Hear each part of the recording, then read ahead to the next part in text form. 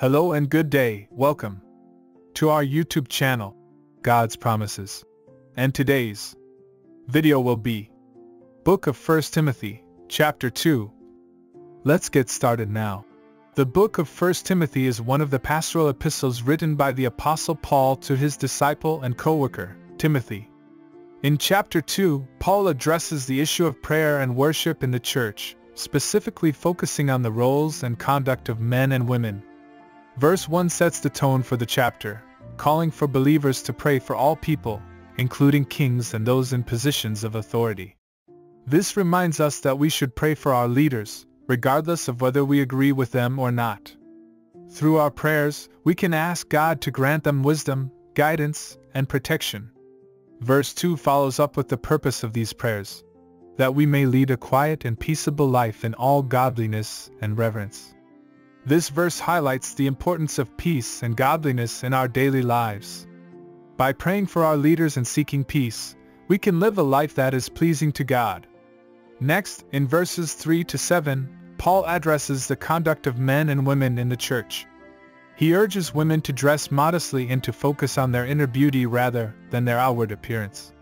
He also forbids women from assuming teaching or leadership roles in the church, stating that a woman should learn in quietness and full submission.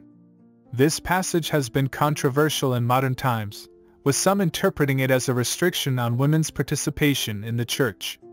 However, it is important to understand the cultural context in which it was written. In the first century, women were often uneducated and had limited opportunities for leadership or public speaking. Paul's instruction was likely intended to prevent disruption and confusion in the early church. Despite this cultural context, we can still learn important lessons from this passage. First, we should prioritize inner beauty over outward appearance, recognizing that true beauty comes from within. Second, we should approach learning and teaching with a spirit of humility and submission, recognizing that we can all learn from one another. In verses 8 to 15, Paul turns his attention to the conduct of men in the church. He instructs men to pray with holy hands and to avoid anger and quarreling. He also reinforces the idea that women should not teach or have authority over men. Again, it is important to understand the cultural context in which these instructions were given. In the first century, men were often associated with anger and violence, and Paul's instructions were likely intended to promote peace and order in the church. However, we can still apply these teachings to our daily lives. We should approach prayer with reverence and avoid quarreling and conflict with others. We should also recognize that everyone has different roles and responsibilities in the church and in society, and we should respect those differences.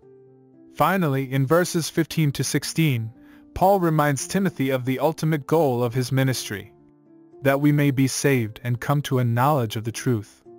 This is a powerful reminder that our ultimate purpose in life is to seek salvation and to know God's truth.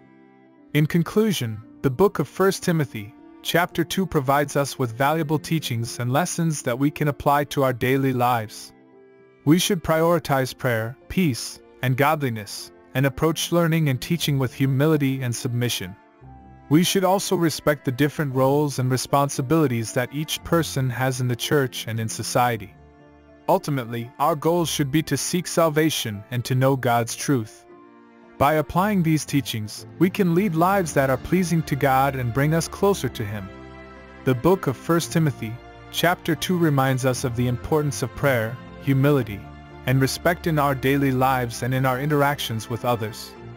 May we all seek to apply these teachings in our lives and grow in our relationship with God. Thank you for visiting us today. Please share with us your favorite Bible chapter below in the comments section. Don't forget to like and subscribe, it really does help our channel grow. Looking forward to see you back here for our next video. Always take good care.